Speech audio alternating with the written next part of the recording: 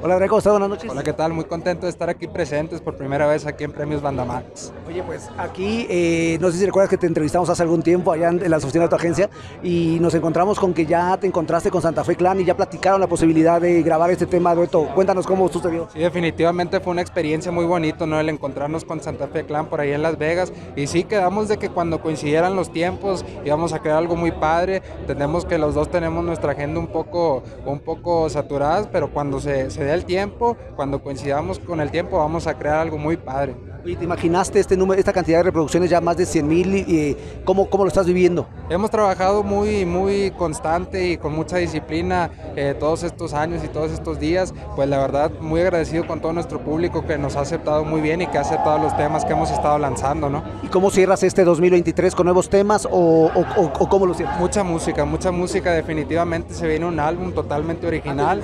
Con, así es, composición de mi buen amigo Miguel Luna. Vamos a ir lanzando tema por tema. En el mes de noviembre vamos a lanzar el primero, ya en algunos días, en noviembre. Y bueno, se viene mucha música, muchos videos nuevos, ¿no? Oye, y aparte de Santa Fe Clan, ¿algún otro otra colaboración?